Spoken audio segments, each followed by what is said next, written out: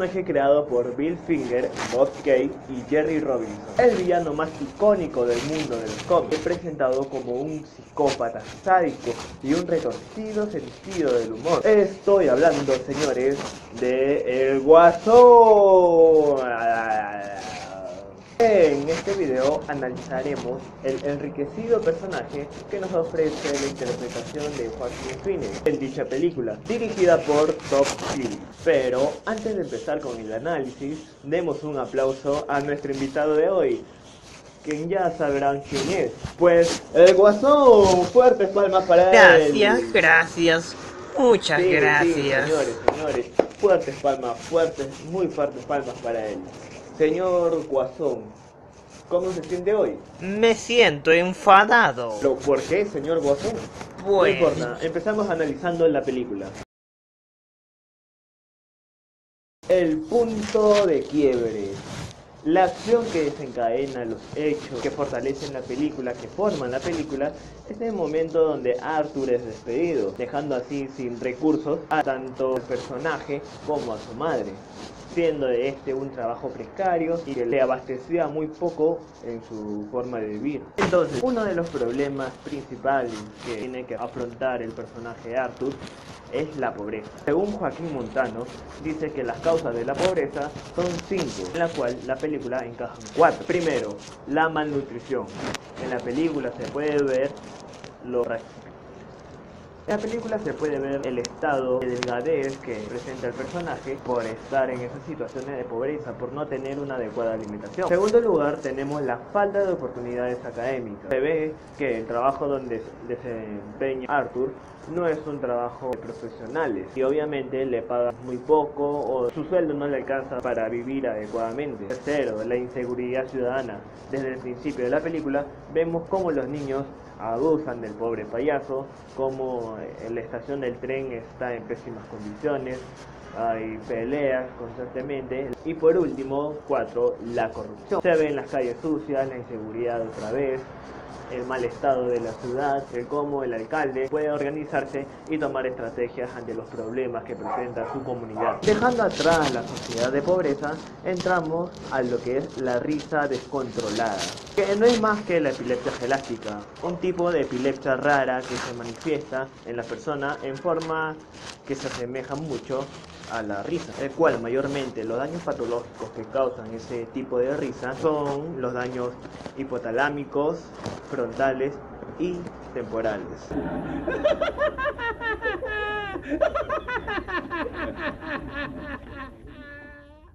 Cálmese, cálmese por favor, que entramos al otro problema, la desigualdad en el trato. Pues, según Ecker y compañía, refiere que los que están en un estatus mayor económicamente tienden a tratar mejor a las personas con enfermedades mentales debido a su formación que reciben acerca de esos temas. Y la sociedad en donde se desarrolla la película es una sociedad pobre. Pero también es importante aclarar que no solamente la ignorancia es el punto el cual parte de los malos tratos hacia esas personas. También una experiencia negativa es necesaria para tratar mal a esas personas. Por eso es importante resaltar que esto solamente es una película y que lo que ven aquí es más que todo un estereotipo de enfermedad mental. No necesariamente las enfermedades mentales son sinónimos de agresividad o violencia, sino muchas veces todo lo contrario. Está bien. Y nos estamos olvidando algo, señor Joker. Mi madre. Verdad, verdad. Madre enferma. Miguel Ángel Fernández nos habla sobre los factores del impacto de la enfermedad en la familia. Primero tenemos la etapa del ciclo vital. Etapa del ciclo vital. El impacto de la enfermedad será diferente en cada momento de la vida en una familia y del miembro al que le ocurra, de tal suerte que no es lo mismo una enfermedad como la diabetes en el esposo económicamente activo en la etapa de independencia de los hijos que una enfermedad vascular cerebral en el cónyuge en etapa del nido vacío. De igual forma, no es lo mismo que aparezca la enfermedad en una familia que no ha enfrentado crisis familiares y que no ha puesto a prueba su capacidad para resolver conflictos, a que ocurra en una muy golpeada por estas, cuyo desenlace puede ser muy prometedor o realmente catastrófico. tenemos la etapa o flexibilidad de la rigidez familiar. Flexibilidad o rigidez de roles familiares. En el momento que aparece la enfermedad puede ocurrir que ésta afecte a distribución de roles, para que después se compartan las responsabilidades que tiene cada miembro familiar con el enfermo, o en otros casos menos afortunados, se nieguen a poder colaborar y den toda la responsabilidad a ciertos miembros de la familia que generalmente se le atribuye al sexo femenino. Puede ser madre o hermana mayor. Probablemente con ese trastorno haya sufrido un mal desarrollo y el desarrollo de Arthur Fleck es necesario para ver su diagnóstico actual. Un mal desarrollo empezando por el apego. El apego es el lazo o la relación de afectividad que se da entre el cuidador y el individuo. ¿Para qué sirve el apego? Bueno, para establecer relaciones interpersonales adecuadamente. En caso de que sea un mal apego, todo lo contrario. Pero ahora ustedes dirán, ah, entonces eso fue lo que detonó en la cabeza del Joker para que se vuelva un desadaptado social. Pues no, no solamente es eso. Acá vienen muchos más factores que necesita que contribuyan al trastorno que tiene el Joker, como por ejemplo el cuidado familiar. Para empezar, el Joker fue adoptado. Para que un bebé sea adoptado, con la madre biológica ha tenido que pasar un problema ya. Puede ser que haya fallecido, puede ser que no que no tenga un buen cuidado o variabilidad de cosas afectando con el apego. Puede apegarse con la madre que la adoptó, pero en este caso vemos que no es así. De pequeño sufre abuso físico y sexual, lo cual contribuye también a la enfermedad. Ahora, el desarrollo familiar en la película se evidencia que no, que no tiene un adecuado desarrollo.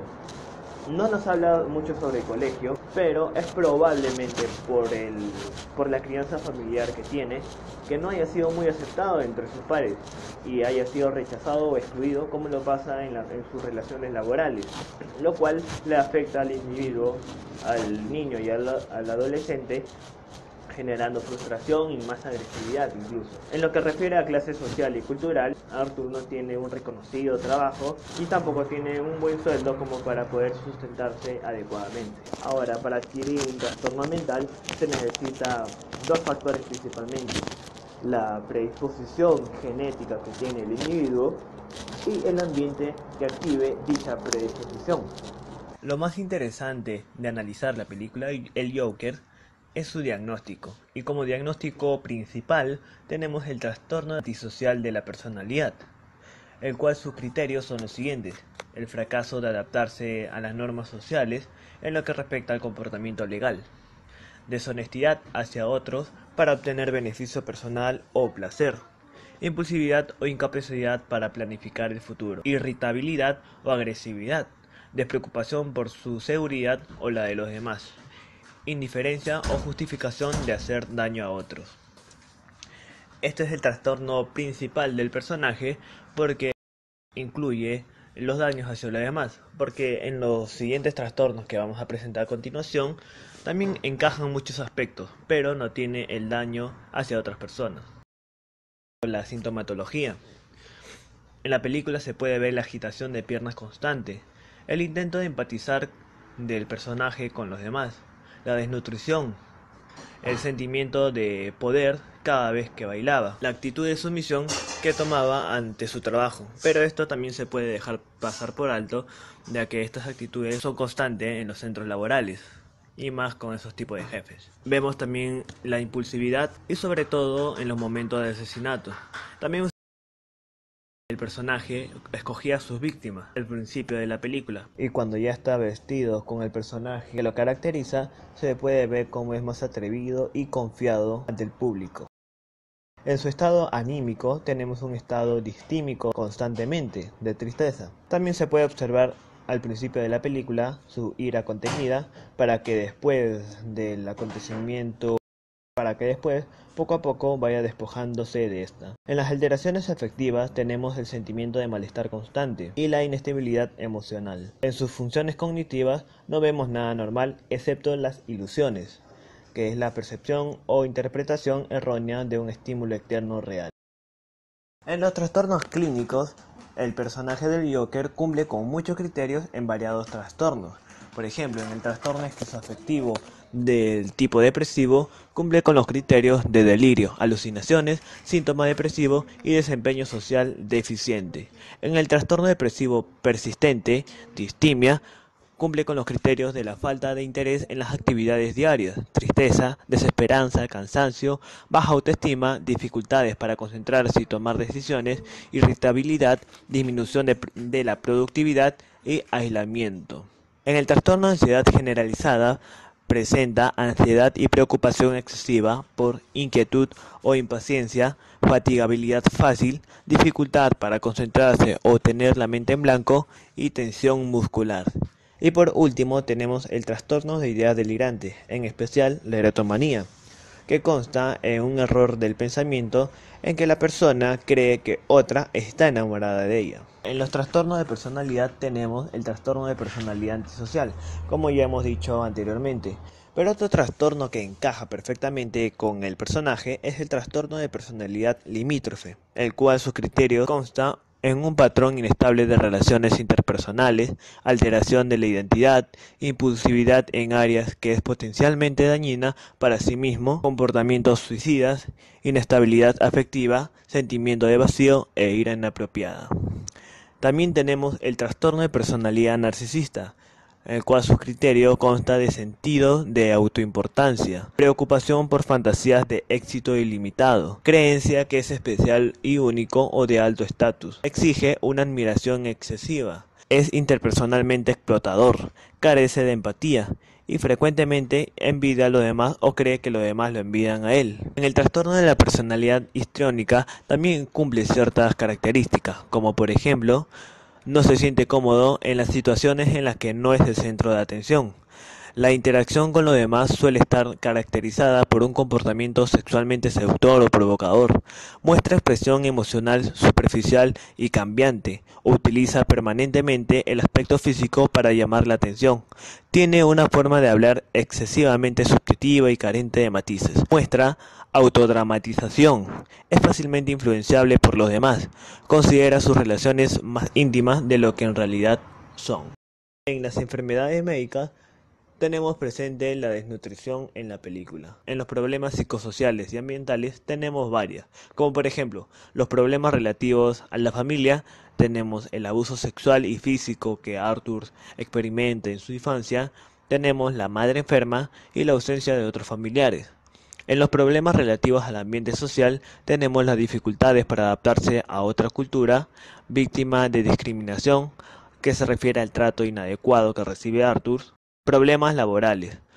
Tenemos los conflictos que tiene con el jefe, las condiciones laborales difíciles que tiene que afrontar y el desempleo sobre todo. En los problemas económicos presenta la película una economía insuficiente. En los problemas de acceso a los servicios de asistencia tenemos la atención psicológica inadecuada. Miren ustedes nomás, esto puede ser todo menos un consultorio. Y también importante el recorte de medicamentos.